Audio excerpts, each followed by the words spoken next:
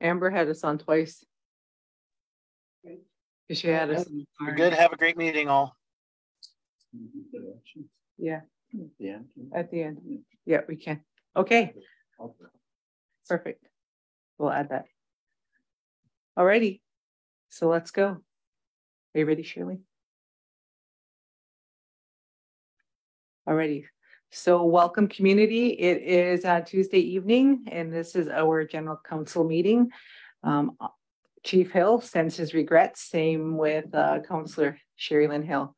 We have Counselor Hazel and Helen, who will be joining us after an event that they are attending um, over at Mont Hill.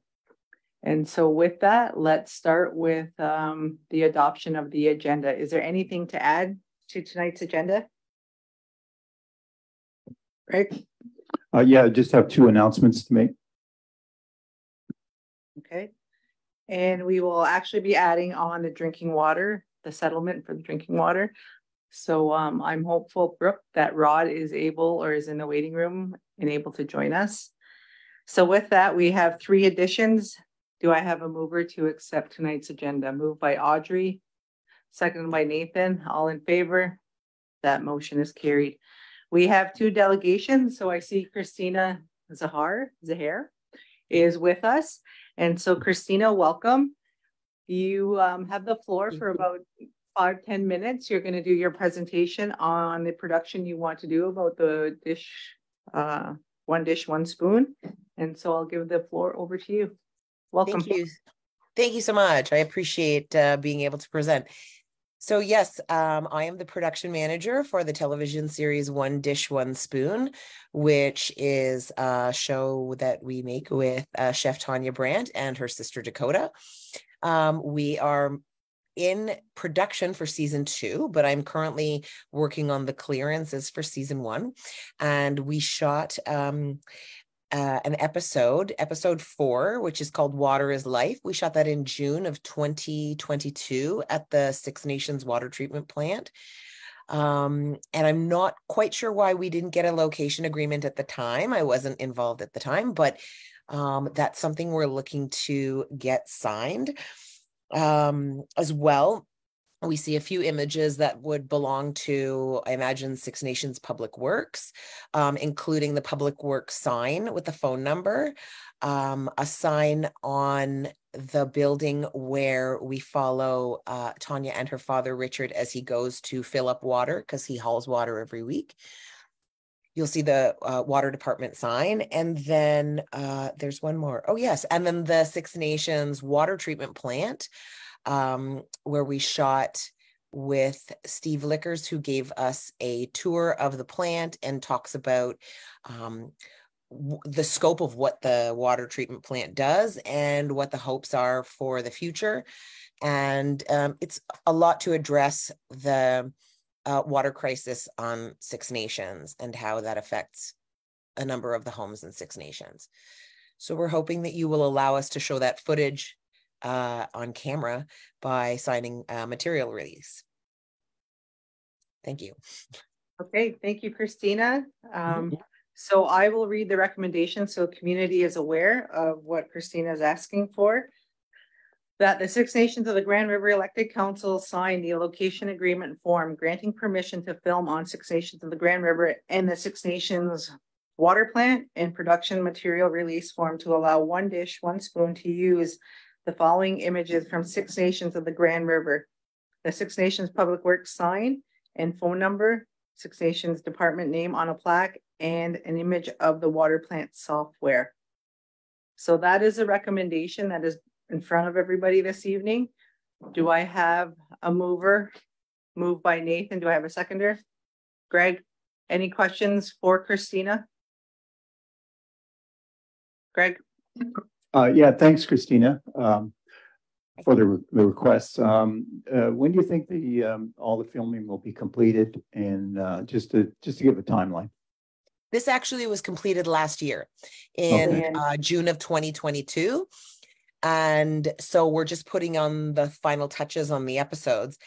And so I'm I'm looking for sort of um the stuff retroactively because I'm unsure of why I don't have a copy of all of these signed documents, which just might have gotten lost in in the shuffle last year.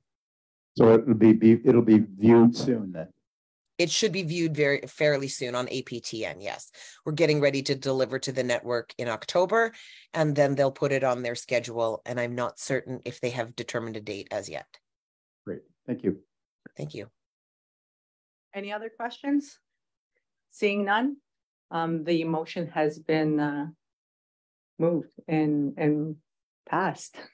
We passed. Awesome. Thank you. I appreciate it. And so we don't need second reading? We do.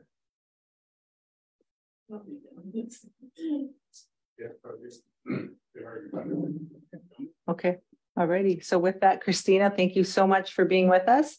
And uh, we look forward to watching your episode on APTN. Take care. Thank you so much. Take care. Okay. If Brooke, we can have Clarissa and well, Zach is with us. Or Claire. Oh, you're both online. Okay. And so for council and community, we had uh Clarissa and Zach present to us two weeks ago in regards to the um Indigenous health legislation work that's being done. And so there was a little bit more follow-up work that needed to be done and that was deferred till tonight. So Claire, Zach, I'll give it over to you to update us on what has transpired since. And then we'll have some discussion. Over to you.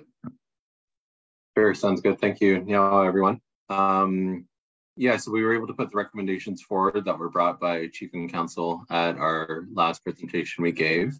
Um, Claire was able to do a lot of work on her end, gathering community opinions uh, around the legislation. So I'll hand it over to her and she has a brief presentation to share as well.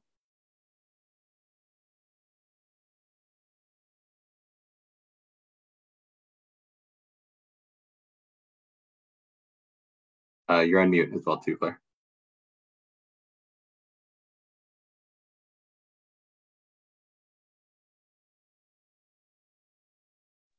Okay, sorry about that. We got lost in the screen. Um, hello, uh, thanks everyone for having me back. Um, as it was perfectly explained, we are coming back um, to revisit um, what Canada is proposing for the Indigenous health legislation.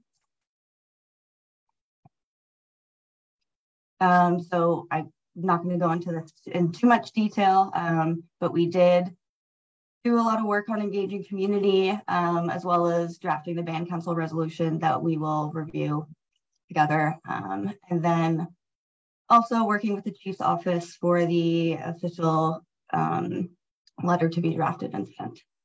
So in terms of what has happened, so taking a stance of just the community engagement first, um, I wanted to work kind of dually and share information as well as collect feedback from community um, all at once. So what I'm about to share with you is some preliminary data results. Um, keep in mind there's a collection period of data for just, just over one week. Um, so I was able to create a survey um, that was to collect opinions and then the SNGR Facebook and Instagram pages had posted the flyer and video link. Um, the Healthy Sixnay Facebook and Instagram pages, same with the flyer and video link. Um, and there were advertisements put in Two Row Times and Turtle Island News. Uh, last week, the Chiefs radio update made mention of the informational video and flyer on September 22nd.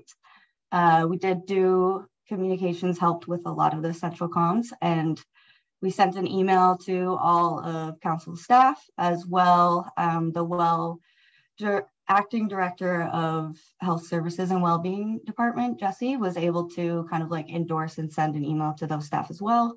Um, and then this information was also captured in the news section of the new SNGR app. Um, and then lastly, this was also shared uh, on the overall website. So from all of this, um, I was able to collect survey responses um, and I sort of supplemented that with a bit of a social media content analysis. Um, so I was able to analyze all of those interactions that happened on social media, comments, likes, shares, those types of things, and the insights that those are able to tell us. So in total, um, responses and interactions that were analyzed with community members is 191. Um, so that's representative of the sample size for all of the information that I'm now able to share with you. So from the survey, it did pose a very um, straightforward questions with the hopes of getting a straightforward answer. Um, so the question was, do you agree with Canada's proposed changes to Indigenous health legislation? That's listed at the top there. And this pie chart displays the results. So we can see that 82% of respondents had indicated no, um, they do not support Canada in the passing of this new legislation. Well, 18% indicated they didn't have enough information to form a position. Uh, you'll notice there's no gray, meaning there were zero responses submitted that indicated, yes, I support Canada in the passing of this new legislation. So I think that is one of the really good uh, key takeaways.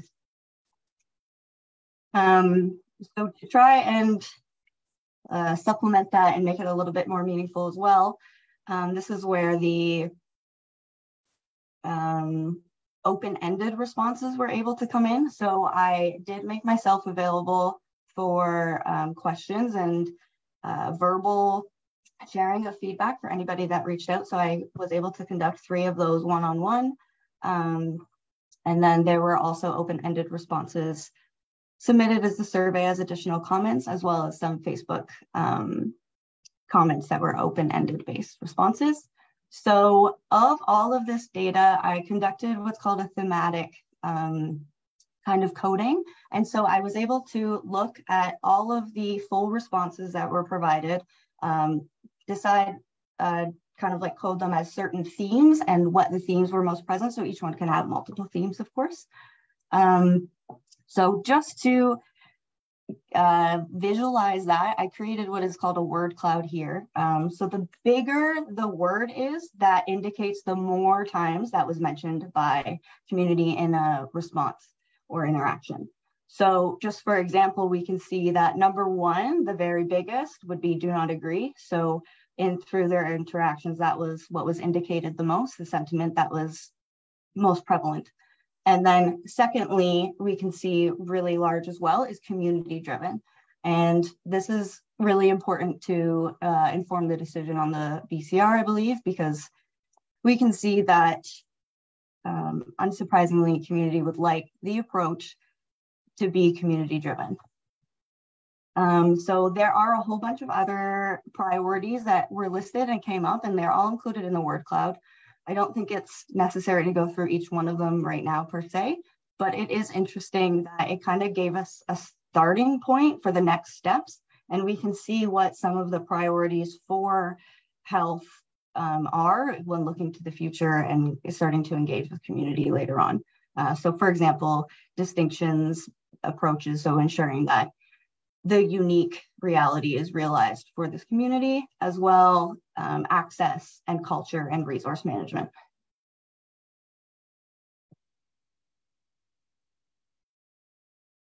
Um, so just to kind of like reiterate the next steps um, and what we can expect. So one, the next steps that were discussed in the previous meeting was a band council resolution. So we will go through that in the next slide. Um, and then the Chief Mark Hill will work alongside the Chief's office to ensure that official letter is sent. Um, so the deadline for feedback was Friday, um, and we have already worked with the Chief's office in ensuring that Indigenous Services Canada knows that a position is coming this week from Six Nations. Um, so then lastly, just again to provide a little attempt to provide more clarity to the process, um, the government of Canada is going to begin drafting the bill. Um, so if they decide to include an opt-out or exclusion clause, which is what the band council resolution is speaking to, um, then that would really mean that SNGR would have the option to opt out and it could be explored and the implications at that point, not that it would be a decision to be opting out right now per se. Um, and then also, of course, they could decide to not include an opt-out or exclusion clause. Um, and then that would require further political advoc- advocacy um, and going straight to the minister. Um, so that is really all of the information that I have, have to share in terms of updates and what we've done since last week. Um, I did just kind of type this up. If it's helpful to leave it on the screen, I can. If not, please uh, let me know. But thank you for taking the time. Okay, thank you, Claire, and uh, I appreciate that you put the recommendation on the screen. And so I don't have to read it, the community can actually see it. And so at this time, I open it up for discussion. Greg? Uh, yeah, thanks, uh, Claire. Um, I had the opportunity, well, I was invited, um, to a, a Zoom meeting, uh, concerning this, uh, about a, since your last presentation, uh, Claire. So I, I don't really recall why I was invited, but I was invited there. The, um, but some of the issues that you just presented, um, other, uh, First Nations communities had concerns about as well. The, um, the consultation, uh, you know, timing, the issue, some, some were not consulted, uh, such as us. And that this seemed to be being pushed through. Uh, there was another doctor there on the, on the call that, um, seemed to think that this still had a hint of colonialism and how the um, Indigenous Indigenous Services Canada uh, was going to put this through um, anyway um, and sticking to their time frame. Um, the other thing too was uh, there was a concern um, from one of the members that um, there wasn't enough cultural awareness built into the legislation. Um, and that uh, that most there was some of the legislation should be reworked. Um, the other thing too is um, there was no mention of um, of the funding and funding issue and how that would be um, guaranteed if uh, if you did not, um, I guess, agree with this and sign up to this uh, legislation. Um, there was some concern about that as well. So a lot of those issues that our community brought up uh, were brought up on that on that Zoom call.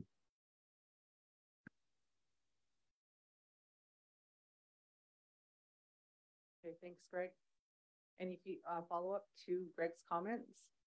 Just update. Is there any other comments from the counselors? So we have a recommendation in front of us. Um, what do we want to do? Nathan?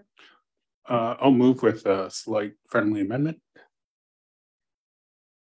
Um, where the last line it says, and specifically that Six Nations request opt-in and opt-out uh, exclusion clauses. After that, I'd like to add, or any other legal or political remedies that may arise. I just don't want us, and, and I think the the presentation and the recommendations uh, support that because you know going to the minister and I just don't want to chop our foot off just at the inclusion clauses. So I'll move with that amendment if everyone's cool with that. Okay, so we have the amendment. Greg, do you have a comment? Uh, just have a question for Claire. Um, because this uh, this seemed to be a take it or leave it, right? This it's this the way they're approaching it is that um, um, uh, I wouldn't say it's it, it appears to be it's almost threatening in a way that if you know you don't you don't get involved that you know you're going to be left out and then there's you're going to have problems for your community is is that is am i not correct in, in having that type of feeling yeah thank you councillor greg i think i think that's a i'm not that far off from from your sentiment there i think um even more interesting they don't even give the option to leave it uh, it's not even really take it or leave it. It's kind of take it and deal with it. Um, so yeah, I, I hope that answers your question, but um, I'm not not finding myself straying from your comment. Great, thank you. I'll second that. Okay, so we have the motion moved by Nathan, second by Greg, and Melba has a comment. Yes, I do. That's very interesting, Greg, um, that you were at a meeting where you mentioned the funding and culture was not included. And I think that's very important based on the culture that we practice here at Six Nations and we employ people who are um, in place to include the culture, such as our medicines as well as the ceremonies. So I think that's really important. So hopefully things will certainly improve as we move forward. Thank you. Okay, thank you, Melba. And so we have a motion, so we'll go to the vote. All in favor? Does anybody oppose? Hearing none, motion is carried. Okay, so thank you, Claire and Zach, for working on um, the recommendation and reaching out to community. And so um, we'll go from there. Yeah, thank you, council. Okay, so let's, um, I'm gonna bring Rod in as a delegation. And so Rod, are you ready? Yes, I'm here. Um, today, over the last couple days, we've had some inquiries in regards to the drinking water, the settlement. And so Rod, if I can give you the floor to give an update to community of uh, where we stand with that um, application. Yes, so uh, um, thanks everyone for um, the time. I know we didn't go through the agenda review team process for this for this particular issue. There had been some past briefing notes and um, updates to the environmental task force on on the portfolio on the the drinking water portfolio. Um, but um, I guess we were the, the, inquiries that we were getting from communities is they just wanted to know the status of um, Six Nations being considered as an impacted First Nation uh, when they go on to the the National First Nations claims website, um, Six Nations is not listed there. So in the application form, and I know we've discussed this at council previously, I think the total, there's 22 pages in that, that document. So you can fill it out online. So we had heard that there are some community um, households that have filled out the application and they sent it in before the first deadline. Um, the deadline was extended by one year, so I think it's coming up again in March.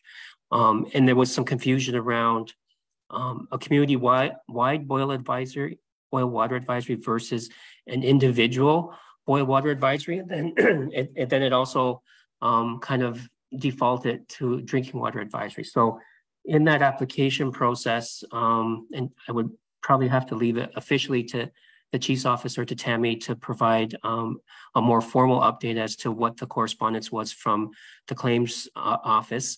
But myself, uh, uh, Dwayne Jacobs and Sarah Curley Smith, we did provide, uh, compile some evidence and uh, we prepared uh, an affidavit and uh, kind of like an, a cover letter with some evidence of um, boil water advisories um, for the community over the decades. So the claims period is from 1995 to 2021. Um, we knew forthright going down this path that we probably wouldn't meet the the settlement criteria, which indicates that you have to be on a boil water advisory for more than one year. So in all those instances where the people in Ohsweken that get their water piped um, through the distribution system and the water treatment plant, um, there were there there were certainly boil water advisories over the decades, but they didn't ever um, exceed a one-year threshold, which was a requirement through the settlement agreement. But what we had been advocating um, concurrently, and that's where it seemed to have got a lot of confusion is uh, for the vast majority of the community that relies on groundwater and they're on a, a well, they would actually meet the criteria. So leading up to all of the the um, public um, presentations from the from the various law firms, I think OKT and Deloitte, um, and I think um, uh, Chief Harry Laforme as well. AFN had um, information sessions and the Chiefs of Ontario had information sessions and the questions would get posed all the time. Um, if, it, if, a, if a First Nation community is not on the impacted community list, can individuals, if they meet the criteria, still submit an application? And the answer consistently was yes, they can.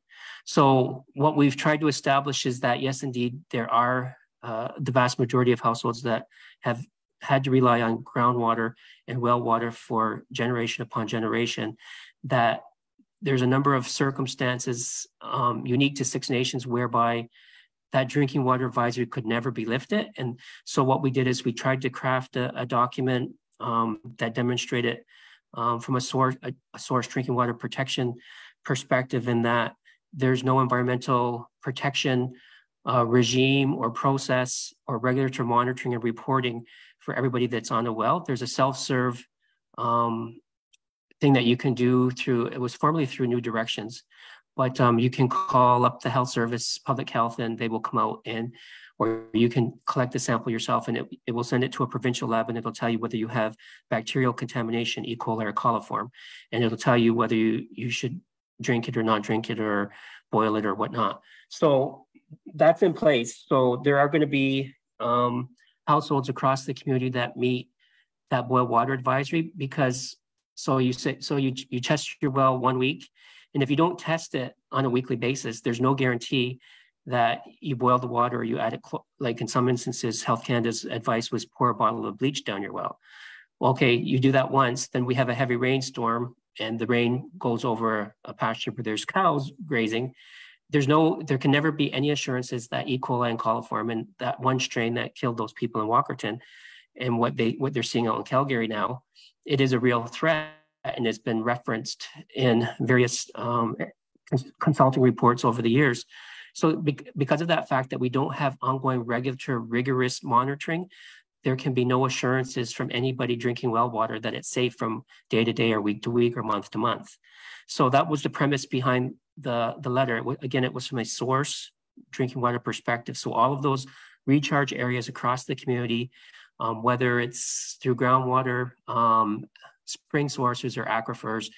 Um, a lot of the wellheads need to be upgraded. They don't have a vermin-proof lid. They're not properly graded.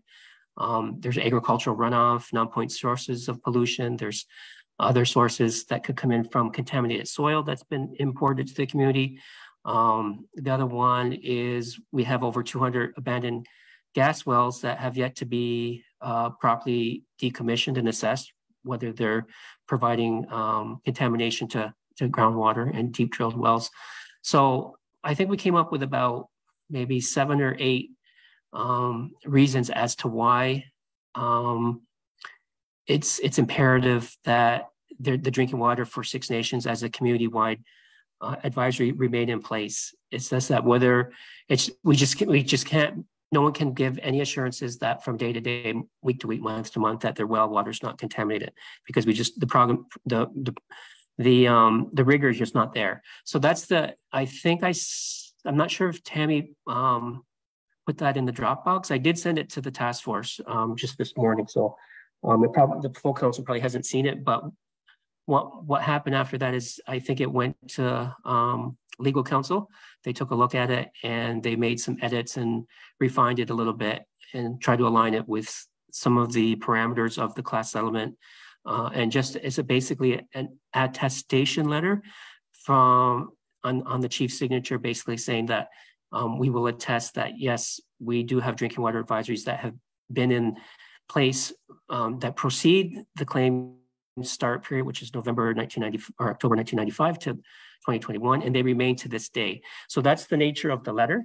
Um, and we we thought uh, the thinking is that um, if if there's households that are planning to submit an application before the next deadline after Christmas of 20 coming up, that they could attach this attestation letter and it would be official. So the whole premise behind class settlements is that you don't individuals don't have to get their own lawyers. They don't have to like they. It's called like a blanket um, acknowledgement where you have to you do have to have a a guarantee or you have to testify that what you're putting in your application is true. But for the most part, you don't have to have extensive individual evidence. So we're hoping that this this community-wide blanket letter um, from chief and council will will be suffice um, sufficient enough for the claim settlement to properly assess and rightly assess um, any applications that come from uh, people that live on Six Nations that have been dealing with water safety and security issues uh, for generations upon generations. So that's kind of it in a, in a nutshell. Maybe I'll just leave it there and if there's any questions. Perfect. That was a good background to our uh, history with the water situation at Six Nations. And so thank you, Rod, for doing that. And um, we have the uh, support letter. I think a few of us have been able to review it. Um, so Greg has a question and then we'll uh, go to, I guess, accepting it for information. Uh, yeah, thanks, Rod. Um, so just to be clear, um, like the water testing is not a strict requirement, um, like in order for our members to qualify for, uh, or to be included in that water class action settlement. Is that correct? Well, they do, there is a, a spot on one of the pages where it says how long have, how long has the drinking water advisory been in effect? And what we had told people for the first intake and what we're telling people now is that you can put the full duration. You can, if you're, I guess if you're, if you're not in the village of Ohsweken and you're not on a cistern and you have a well, you can put in there and that's all they're asking for. They're not asking for, oh, can you please uh, provide us with um, something from Peter Hill, or before him, it was the late Paul Strohack, saying that you can't drink, do not consume your water, do not use it, or do, or boil it. There's um, likely people within the community that do have um, that they got their well water tested on a yearly basis, and they will will have letters um, from Health Canada, from either Paul Strohack or Peter Hill, saying um, boil your water, or do not use it. Um, what we're suggesting is that the the background behind this cover, this blanket cover letter, is there won't there won't be a need for that. There you will need to have a, a guarantor um, witness you um, signing this, so that you're basically um, vouching for yourself um, that what you're putting in the form is true, and that you've you've encountered um, uh, water hardships, which is the the basis behind this class settlement. Um, and then it's prorated, I think, as well. So um, even though it's from 1995 to 2021, the statute of limitations um, only will compensate, I think, the last 13 years. I'll have to go back and look at it. But um, to your question, Councillor Greg, is yes, at, at this point, it doesn't look like you individual households need to dig into their archives or ask for a reprint. Um, we're hoping that this blanket cover letter will be sufficient enough. And it's pretty, when you read it, it's pretty compelling. It's, it's, this wouldn't be like the circumstances that we face would probably not be acceptable off reserve. Uh, and just in terms of there being so much uncertainty about the quality of the water that you're drinking, you, we can just, we can't, you can't take risks. So for there, for the bacterial contamination, there can be no bacteria whatsoever. It has to be zero. The number of colonies for E. coli has to be zero uh, before you can drink that water. So um, that was that, that was the the premise behind the the blanket cover letter. Um, again, if people get their applications in now, we have heard that the legal team from uh, the settlement office will call up households and say you're missing this or you're missing that or you didn't get your guarantee guarantor to sign here so they they seem to be entertaining uh, or accepting applications from Six Nations households. So that's a good thing. And so that um, that's where we're at right now. Thanks, uh, Rod. Just to follow up, um, yeah, the um, I've been encouraging everyone to fill out those forms and send them in. Um, I wasn't quite sure about the uh, the chief's uh, the letter from the chief's office, but that'll clarify a lot of issues. The um, I think that, um, and we've also, I've got some feedback as well that, uh, yeah, the claims office has um, acknowledged that they've um, made their application. Um, but like I said, the uh, they may require the, um, the, the letter from the chief's office as well. Um, one other thing too, and when is the when is the the deadline? When is that uh, that cutoff date? Um, just looking here now, because like I mentioned, it, it got extended. I think it's March, it's March 2024. So they gave a one-year extension from from the the original um, first deadline, and it, uh, yeah, it, it's actually in some of the, the, papers as well. I don't have the exact date uh, in front of me, but it's I'm, I'm, thinking that it's March, so it's coming up um, in a few months' time here. So, um, great, thank you. Yeah. Great. Thanks, Greg. So do I have any other um, questions for Rod? Melba? Yeah, Rod, do you think it would be necessary to have community meetings? After all, we have had some difficulties with these class actions and there are people, uh, you've explained it today, but uh, I would think that a small percentage of people are online watching this, and we have to consider those that do not understand and are not online. Uh, I think that uh, so the, there had been some earlier inter, I guess, inter inter office discussion internally here about who should be involved on kind of like a support network. Um, I think there's some lessons learned definitely from when we did the class action for the day school. Um, I know that uh, the administration office often gets questions and say, could you please help us fill out this or what should I put here? Because even there was even a hard time about um, they asked for Six Nations number. Is it is it Six Nations Indian Reserve number 40 or is it Indian Reserve number 121? like just kind of uh, fundamental questions like that that um, people are uncertain about.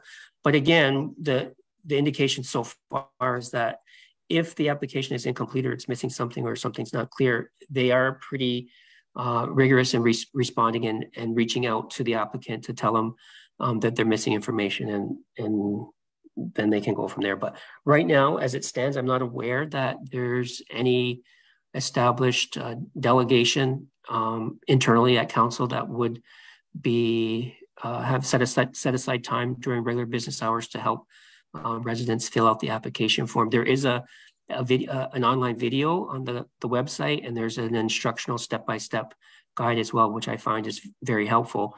But that this your suggestion, Councillor Melba, has certainly come up in in terms of um, those those households that do want extra help um, filling out the application. I just I just hasn't been operationalized um, as of yet, as far as I know. Um, there might be some other folks online here that if we've got any traction on on that. I know there's some other class actions and as well, so there might be some lessons learned or some best practices that we've adopted um, that we could borrow for this in this instance. Okay, thank you. Thank you. It's just that there has been problems in the past and um, people have just recently received their applications back from um, the day schools, for example, and they too were asked to put more information in, especially when they have not cashed their check of 10,000. So we need some correct, sounds like we need correct information in this application. So hopefully that'll be that'll be done in some manner. Thanks. Thanks, Melba. Um, and before we move on, we have Nathan and then I have Carrie on the line. Um, so council will be doing an awareness campaign. So it's not strictly we're live tonight and community can only hear about it. We will be using the papers and try and, and getting that word out so individuals can apply. Um, and we will have likely a staff member here who's able to support community members just like we did with the day school application. Nathan? Yeah, I was just going to update that that's likely our next ask of the um, class action is uh, to take advantage of those resources that are available by way of um, um, the background um, there is a website, firstnationsdrinkingwater.ca, where uh, you can uh, look at the information now. You can access the, the claims form, both online and in print. And there's also an assessment tool in there um, to utilize. Uh, but my understanding is this is a bit of a softer approach than what we're used to. Uh, and in addition to that, the administrator is sending out individuals to help communities or resources to help communities um, with those individuals. And the deadline, just to be specific, is March 7th, 2024. Thanks for searching that up, Nathan. Um, Carrie? Yeah, um, Rod, um, if if Six Nations name is not on the claim, how would the approval be for the individual claims that are are going in now? Yeah, they do. They've been pretty forthright, and even the, the presentations that they, the law firm delivers, um, they do try to differentiate. And and I think there's even a notation. I'll have to look and see what page it's on, but it does basically say if you don't see your First Nation on uh, within the application form, don't worry, you can still um, submit as an individual. So um, they are pretty explicit about that throughout the application process. It's actually um, explained, I think, in act the actual settlement agreement, which I think is, I forget how many pages it is. But, um, and now all the PowerPoint presentations that they've delivered um, at the Chiefs of Ontario and the Assembly First Nations have, have all um, made, you know, clarified the fact that if your First Nation's not on here, you and you're an individual and you meet the criteria, you still can submit an application. So I think that was the confusion is because, because like I said, Six Nations people perceive that it's only the village of Ohsweken, it's only the people on the water treated treatment plant and the, and the pipe system um, that that are that qualify for this compensation. And like I said at the beginning, is there's there's never been a, a continuous period of time where the where the boil water advisory for people in Ohsweken has been over one year, and so that's why it, it seems to be even the government seem to want to dismiss Six Nations considerations for that very reason, not realizing that the vast majority of our community is not hooked up to the water treatment plant. We're not on we're not on the pipe distribution system. We, we still rely on groundwater. So that that no matter how many times we we have these discussions, um, it seems like we still have to drive home that message. And I think that was kind of the another um, primary purpose of the, the blanket cover letter signed by the chief is just to drive that message home in writing with his signature, uh, basically attesting that th- this is the reality. So hopefully that goes that that clarifies uh, any any um, confusion that the claims people might have, or the lawyers might have, or the government might have. Okay, thanks, Rod. Thanks, Rod. Very thorough. So with that, um, oh, Melba has a follow up. Yeah, just a little more uh, concerning elders. Elders, as you know, have a different lifestyle than uh, we sitting around the table and some of the general population who are younger. And I think they need specific services.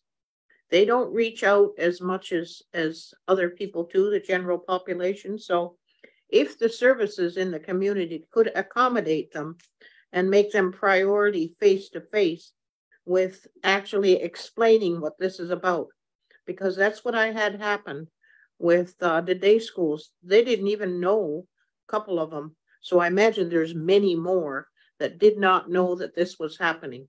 He needed one individual needed a new truck and he had to get a car because he didn't have enough money. And then after he's got his um, compensation, he got the truck that he needed.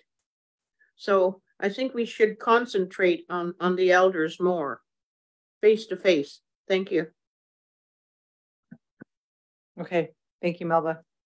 And so, like I said, Rod, thank you. You were very thorough in the background and where we stand now, so community members can apply. Um, Six Nations Council's administration team will be supporting our community members should they have um, need some help in filling out the application. So with that, can I have a mover and a seconder to accept Rod's presentation as information? I'll move. Thanks, Audrey. Second by Melba. All in favor? Motion is carried. Okay. Perfect. And so that letter will be here within council administration. So moving along, we have now um, finished all our delegations for this evening, and we are looking to adopt the general council minutes of September twelfth. Go ahead. Um, I'll move with just, um, there's uh, just one uh, correction on that, that, um, I think the general council minutes, uh, the date is, uh, marked as, um, September twenty-sixth. It should be September the eleventh. The twelfth, it's named the twelfth, but yes, within the body of it, it's needs to be corrected, so Yes.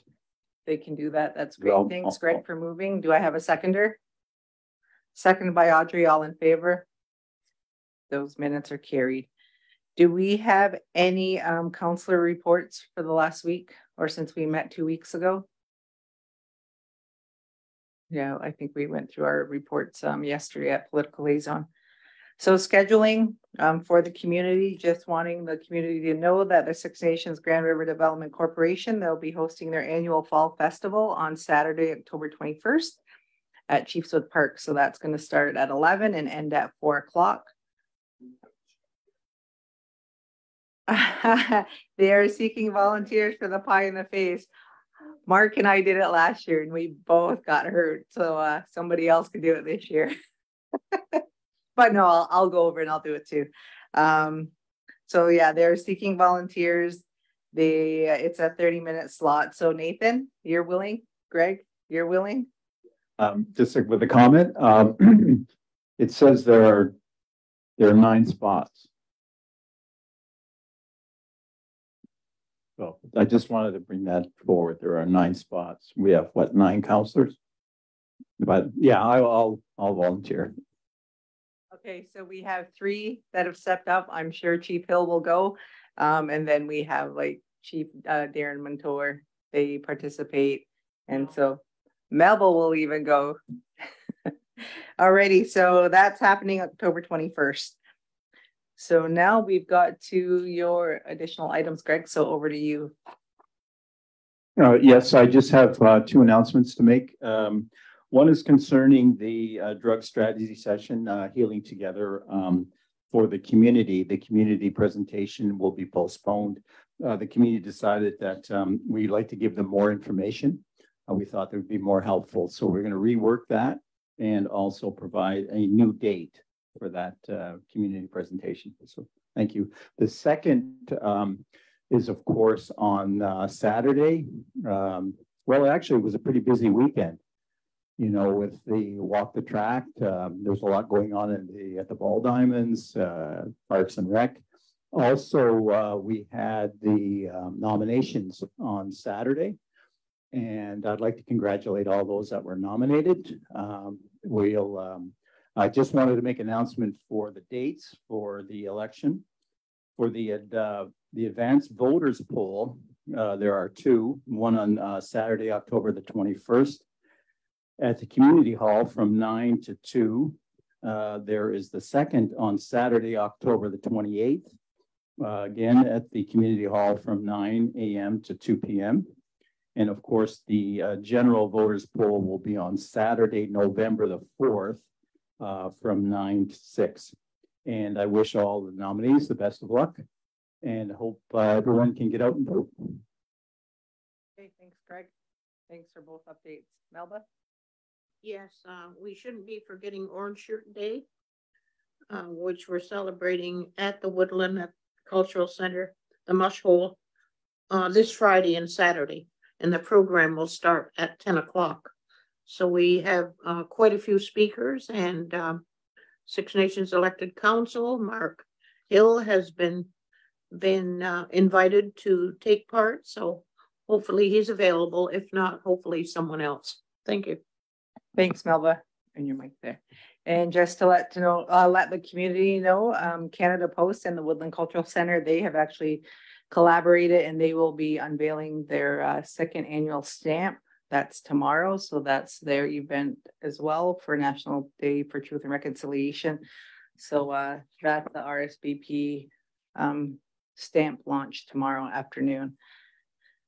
Okay, so with that, Shirley?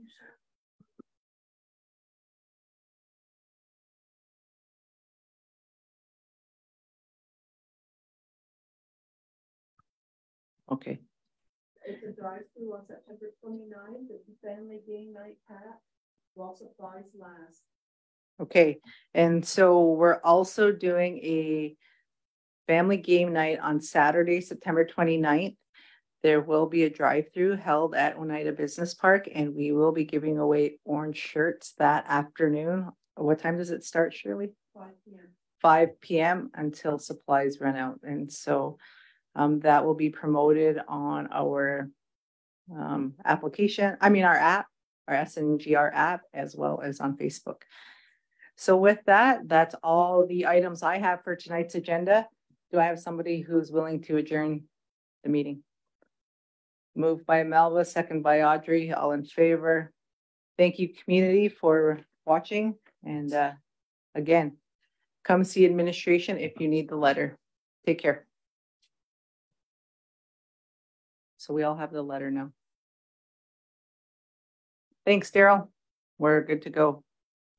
So five Uh, minutes. Brooke, uh, Brooke, you're hosting right now. Uh, might need to get you to. So Brooke, can you give Daryl hosting rights so he can go off live?